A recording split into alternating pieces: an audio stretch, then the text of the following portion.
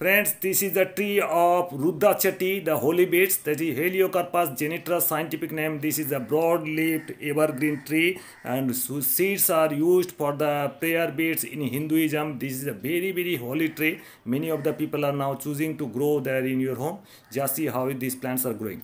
Good morning friends. I am Suraj Agarwal. You are watching your favorite YouTube channel. Gardening is my passion. Today friends, I'll tell you how to grow the Rudraksha tree. These are the all Rudraksha tree around 6 to 7, 8 feet tall Rudraksha tree and I am showing you how they are grown, how the air layering is done. These are the flowers you see and after flowering the beads are formed. Here are the fruits, uh, blue color fruits and from their seeds are uh, obtained. These are the Rudraksha and these are the green seeds you see. I am showing you how to take air layering cutting from this tree. Very very easy process. This is the process of a nursery method. I will show you how to take air layering. You can grow in your home also. Just take a sharp knife sharp knife take and uh, remove the skin of uh, around one inch uh, layer. This is the skin of this here. Uh, just below the nodal portion one centimeter below the nodal portion just give a round cut. And uh, from there uh, below one inch also again give a, another cut here around one or one inch half inch below. And here the round cut. So two round cut and uh, make a transverse uh, uh, here the make a slit of transverse slit here. And remove the skin here. The bark here remove one inch bark from here with the help of your nail. Just remove the whole bark from here. This is the one inch area. Bark is totally removed. Now give a scratch here. This is scratch i am giving. Just see. After proper scratching uh, prepare the beads uh, for uh, all your dough for this making a mixture. Just see how I am making the dough for this here the ball. Just see. So friends, uh, for this making dough, you have to take two parts vermicompost or cow dung compost or leaf mold. You can take two parts of, uh, here I am taking two parts vermicompost and one part garden soil, plain garden soil as a sticking material.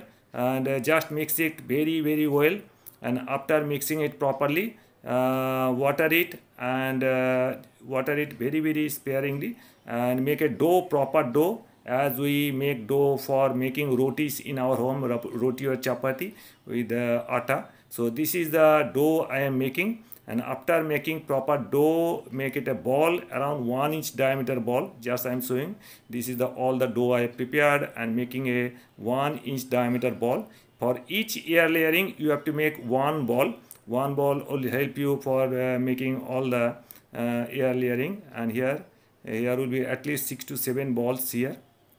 And all the balls are uh, formed. Now i am showing you how to use this ball how to take plastics how to take ropes and strings and how to take the air layering. So friends after this take a ball and make it a two piece after making it two piece one ball just uh, put it in this uh, below just below the nodal portion.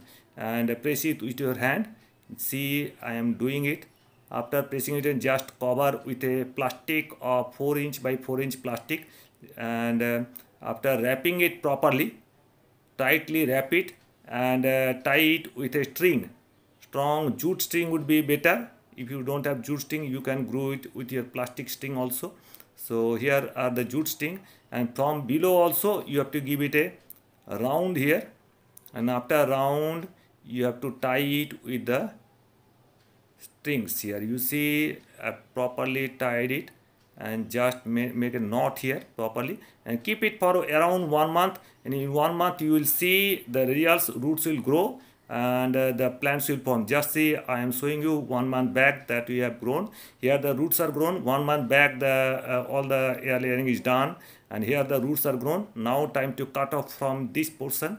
And i am showing you after cutting off you can unwrap the plastic and you can transplant it in a, a 5 inch pot or 3 inch pot and the plants will be ready. So this is the process of air layering of rudraksha tree so friends, these are the all the cuttings grown just seven days back. They have all transplanted, and here I am showing you. This is the plant here. This is the Rudraksha plant. In uh, one or two years, the plants will be in full grown, and you can transplant it in garden also. Here are the roots grown, beautiful roots. All are formed in seven days only, and here I am showing you how to transplant all the Rudraksha uh, cuttings that are earlier in grown here and in nursery hundreds and hundreds of Rudraksha trees are available. If you want you can visit any nursery for Rudraksha tree or you can uh, uh, online uh, buying from Amazon or Flipkart.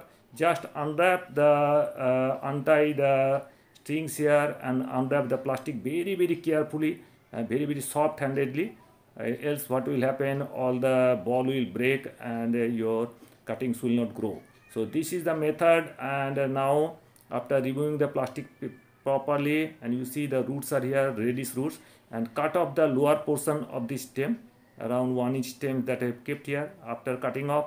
And here the soil mixture 30 percent compost 70 percent garden soil we have mixed it here. And this is the 3 inch pot I am showing you how to transplant it and uh, put it the all the root ball here.